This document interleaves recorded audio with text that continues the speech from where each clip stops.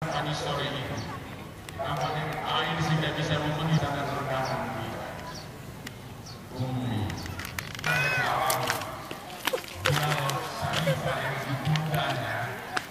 Sambut kemenangan Fitri dan dia telah melaksanakan ibadah kepada Tuhan. Pantai surya di pagi hari ini.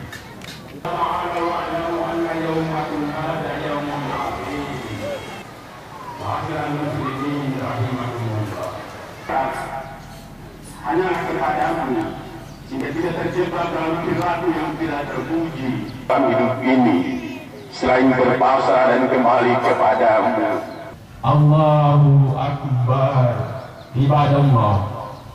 Innama yamuru bil adli wal ihsan Takabbalallahu minna wa minkum. Mohon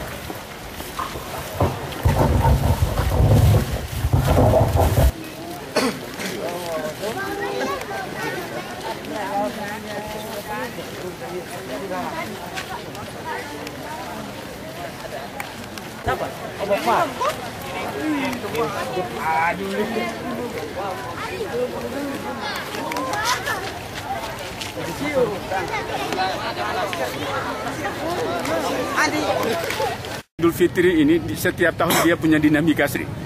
Karena yang kita bicarakan adalah realita. Yang kita bicarakan adalah bagaimana orang hidup dengan tenang, nyaman.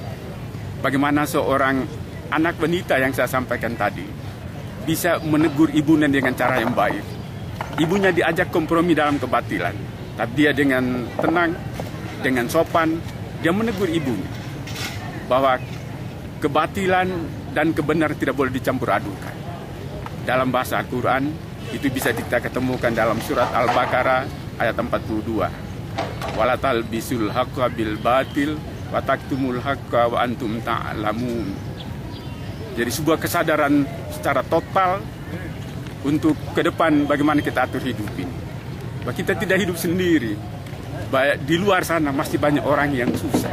Di luar sana masih banyak orang yang butuh bantuan kita. Uluran tangan itu perlu. Dan sebagai pemimpin, harapan kita adalah dia berlaku adil dan dia tidak boleh sembunyikan sebuah kebenaran.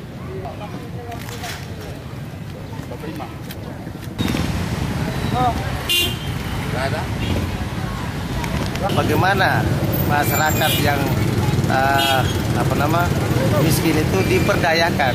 Jangan sampai ditelantarkan. Jadi tujuannya mengangkat harkat dan martabat mereka dengan memberikan eh, zakat tadi.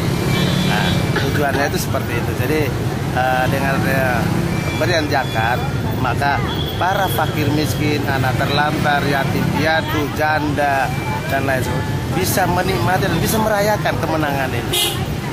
Nah, karena mereka merasa berkekurangan. Kalau seandainya yang berkelebihan tidak memberikan zakat itu artinya dia tidak menang dalam ibadah Ramadan. Jadi dia mengeluarkan zakat karena itu merupakan kewajiban. Kewajiban orang yang melaksanakan ibadah puasa itu adalah mengeluarkan zakat. Itu jak zakat itu wajib